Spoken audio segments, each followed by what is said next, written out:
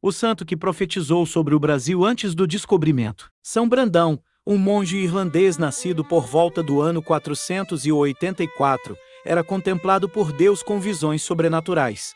Em algumas experiências místicas, ele aponta a existência de terras desconhecidas do outro lado do oceano. A estas terras, o santo dá o nome de Haibreazaio ou Brasil, o que naquele dialeto irlandês significa terra abençoada, terra afortunada. Em uma destas visões, Nosso Senhor pede que ele estenda sua capa sobre o mar e nela navegue.